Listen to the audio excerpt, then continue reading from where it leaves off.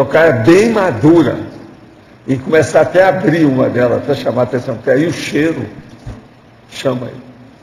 Professor, é, a gente estava é, estudando a superdotação como, um, como uma característica que vem dentro de uma PROEX, né?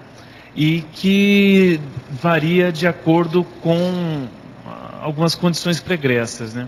Agora, de que maneira a família, no caso os pais, podem estar contribuindo ou potencializando? Os pais, o pai e a mãe devem olhar qual é o perfil do filho ou da filha e caminhar por ali para encaminhar aquele perfil para funcionar melhor. Esse perfil é a tendência da pessoa, os potenciais que a pessoa vê.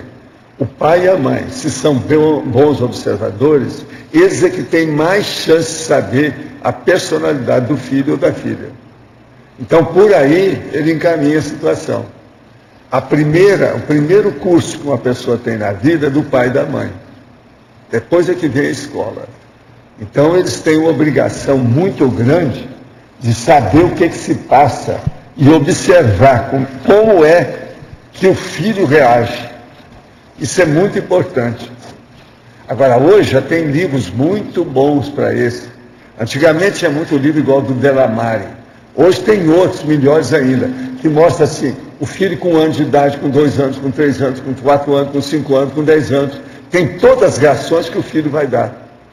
Então, com isso, a pessoa vai é, seguindo ela mesma, ler o livro, o pai e a mãe, dá um encaminhamento muito maior para o filho. O meu filho, por exemplo, eu segui essas coisas olhando vários livros. Então eu, a gente tinha aquele ritmo do crescimento dele. Então a gente via naquilo que estava crescendo mais que a média. Então precisava de olhar como é que era, do ponto de vista do soma, da cabeça dele, as reações que tinham. Hoje, isso tudo, você lê igual a mão, você lê tudo claro, ó, você vê tudo. Você está entendendo? Então os pais têm que fazer é isso. E outra coisa, não ter babá com a criança, não. Babá é só em último recurso, quando morreu todo mundo. Entende? Se o povo está vivo, não deve ter babá.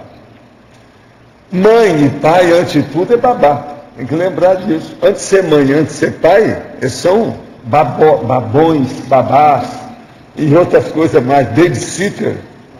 Isso é muito sério. Então, os